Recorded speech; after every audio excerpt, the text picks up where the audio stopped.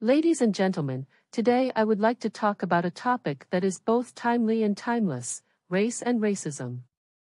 This is a subject that affects us all, regardless of our own racial or ethnic backgrounds. It's a topic that can be uncomfortable, but it's also incredibly important. Because the way we understand and talk about race has profound implications for how we relate to each other as human beings. Let us first understanding race. Historically, the concept of race has been used to categorize humans into populations or groups based on various sets of physical characteristics. But over time, our understanding of race has evolved. Today, we recognize that race is not just about physical differences, but also about cultural, social, and historical experiences.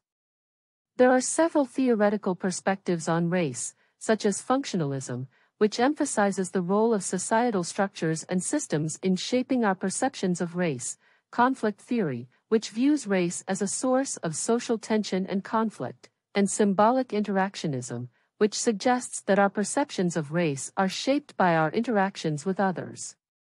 These perspectives highlight the complexities and nuances of race, reminding us that it's a social construct influenced by many factors. What is the problem with racism?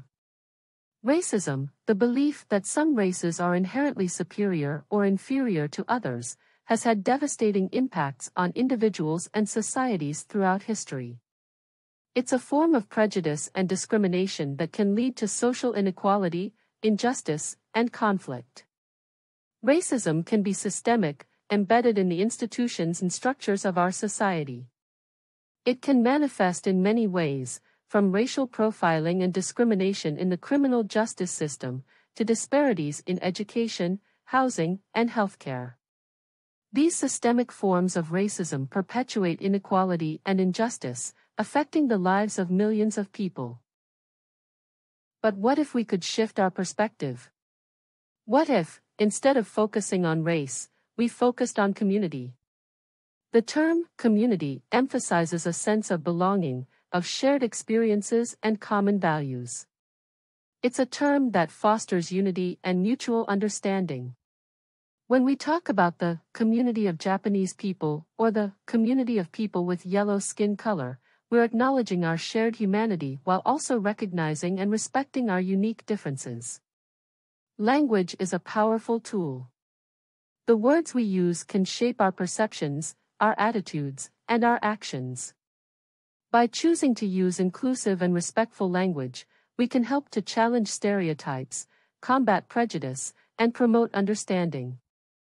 The term race has been used to divide us, to highlight our differences rather than our commonalities. But by choosing to use the term community, we can shift the focus from division to unity, from difference to commonality. Ladies and gentlemen, I encourage each of you to reflect on your own use of language. How do you talk about race?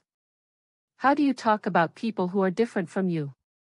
Can you choose more inclusive and respectful words? We all have a role to play in promoting a more understanding and empathetic society. And it starts with the words we choose to use. In conclusion, race and racism are complex issues that affect us all. But by shifting our perspective, by choosing to focus on community rather than race, we can help to promote a more inclusive and respectful society. Let's embrace our shared humanity.